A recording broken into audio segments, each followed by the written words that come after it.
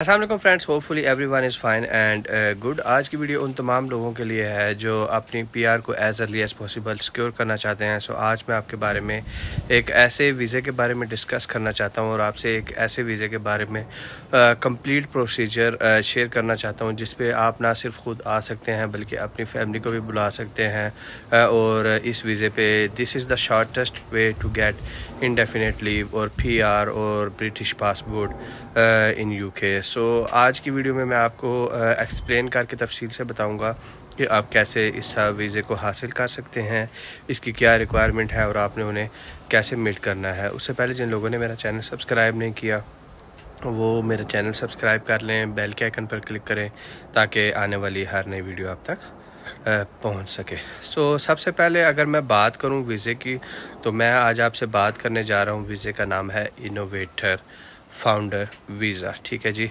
Innovator founder visa एक ऐसा visa है जिसकी बेस पे आप after three years indefinite leave to remain के लिए एलिजिबल हो जाते हैं। अब मैं आपको एक्सप्लेन करता हूँ कि इनोवेटर फाउंडर वीज़ा होता क्या है? इनोवेटर फाउंडर वीज़ा होता है कि आप कोई भी बिज़नेस आइडिया जो यूके में ऑलरेडी मौजूद ना हो, ठीक है? ये अगर मैं इसे मज़ीद फर्दर आप लोगों के लिए एक्सप्लेन करूँ तो मैं आपको ये कहूँगा कि आपने कोई भी चीज़ जिस फ़ील्ड के बारे में आप थोड़ा बहुत जानते हैं, आपका एक्सपीरियंस है, आपने उसमें थोड़ी सी स्लाइड सी चेंजिंग करके थोड़ा सा इनोवेटिव कर लेना उसे। Little bit change according to new technology और थिंग लाइक दैट और आप उस वीज़े को हासिल कर सकते हैं। लिटल बिट डिफरेंट लगता है लेकिन जो है ना ये आसान है बट थोड़ी सी इसमें कॉमन सेंस की और प्रैक्टिकल एक्सपीरियंस की और समझने की ज़रूरत है। ठीक है?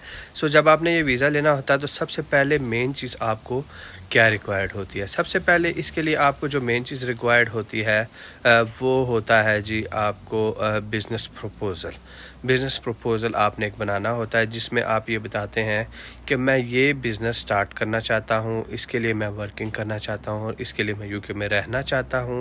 अगर आप विद इन यूके हैं और अगर आउटसाइड यूके हैं तो मैं इस बेस पे ये बिज़नेस स्टार्ट करना चाहता हूँ।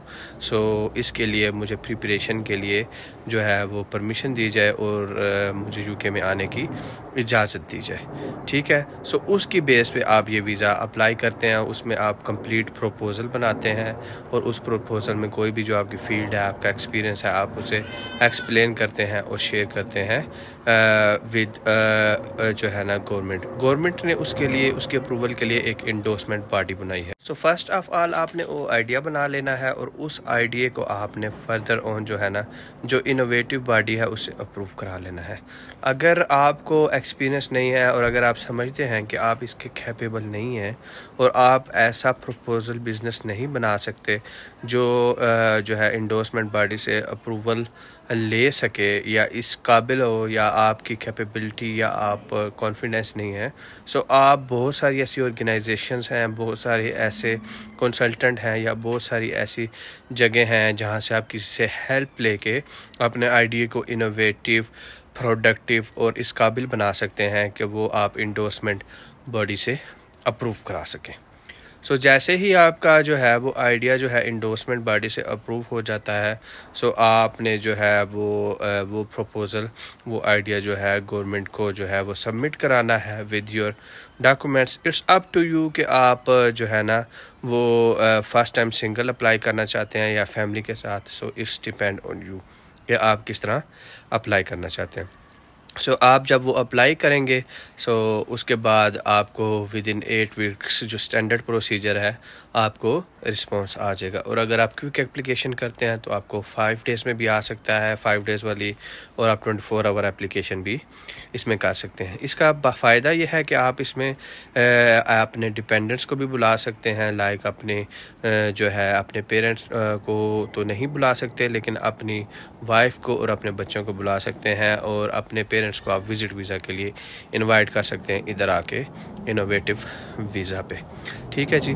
सो ये वीज़ा जब आप हासिल कर लेंगे और इस पर काम करेंगे सो आफ्टर थ्री ईयर्स जब आप उन्हें बताते हैं कि मैंने ये वर्किंग की है ये इसके आउटकम है so you are directly eligible to apply indefinite leave to remain जिसे हम दूसरी शक्ल में पीआर भी कह सकते हैं। और आप वो लेने के एक साल बाद जो है वो पासपोर्ट को यूके पासपोर्ट के लिए एलिजिबल हो जाते हैं।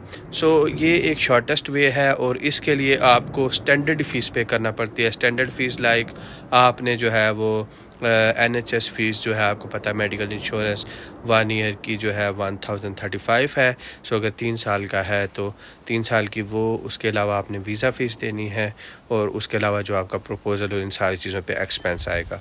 सो एक रेगुलर फ़ीस दे के इन सारे प्रोसीजर्स को आप अडाप्ट करके बहुत ही आसानी के साथ एक थ्री ईयर रूट को फॉलो करके ना सिर्फ़ अपने, बल्कि आप अपनी फैमिली अपने बच्चे अपनी वाइफ और होल फैमिली का फ्यूचर सिक्योर कर सकते हैं। So I hope this video will help you a lot अगर किसी का कोई क्वेश्चन हो तो वो कमेंट बॉक्स में पूछ सकता है। Please subscribe my channel share my video like my video in next time मुलाकात होगी। तब तक के लिए अल्लाह हाफिज़।